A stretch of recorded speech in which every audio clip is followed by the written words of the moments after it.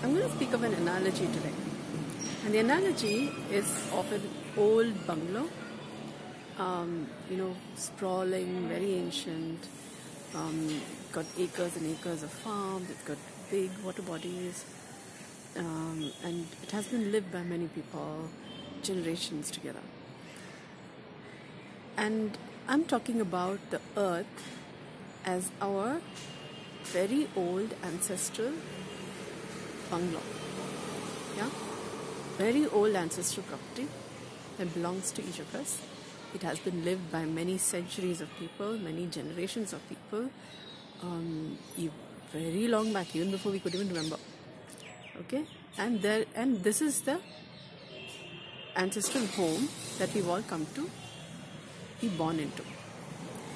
And if you look at how the air is, the water is, the land is, okay, um, how the house is maintained, how the goings on is maintained, it's like uh, the people of this uh, old uh, ancestral home, as all have gone to all foreign countries, and the old houses, uh, like there, okay. Uh, somebody uh, waiting for somebody to come and clean the water, somebody to come and take care of the air, uh, how to take care of how the land is and how things are maintained and about the family being together and all of that. It's like, you know, somebody's work. So, I was just wondering how much are we actually connected to Earth um, as our our own family um, property handed down to us from by our ancestors, and which is our responsibility to now hand over to future generations and in very good condition because it is a responsibility. And how we are sort of simply uh, going about it is uh, is somebody else's business. Yeah. Um, I think it all comes back to how connected, how, how much do we remember our own family, family lineage from where we came, you know, um, where our parents came, our grandparents came, our uh, where did their relatives come from? Yeah. Where is the root of life? How deep does the root of life go? It's it's it's one big tree one big tree of human being one big tree of life. And if we just begin to examine to ask around our own ancestors our own family members and where where did our where did the where did our family come from you know, who are our ancestors.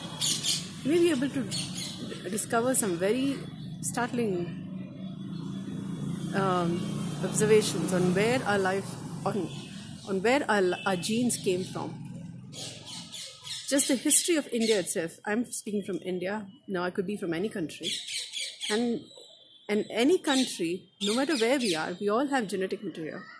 And if we just begin to inquire into where our genetic material have come from, you, you may be quite surprised on where, on how intricate has been our histories, from where there has been colonizations, there has been invasions, there has been um, cross-cultural um, marriages, yeah, and, and families that have come from there. It would be surprising to discover, to note what you would discover through this inquiry. And one of the things that possibly could be on how we actually may be one big family enjoying our residence, our home in a pretty ancient ancestral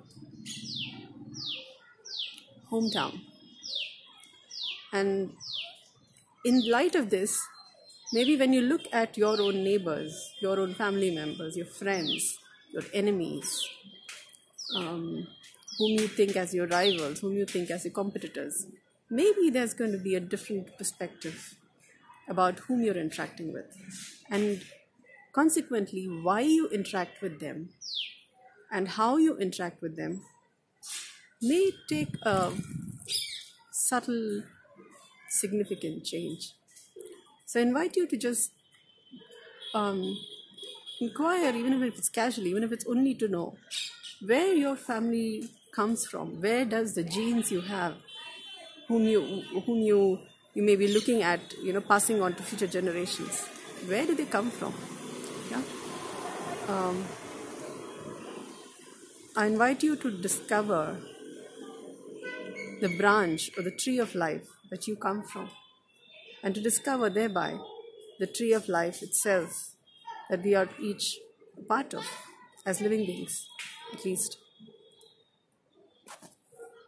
Happy curiosities, happy coming together, happy coming to know who you are, where you come from, and thereby, from that knowledge, from the light of what could become possible, who you may be and who you could become, and what you could contribute thereby.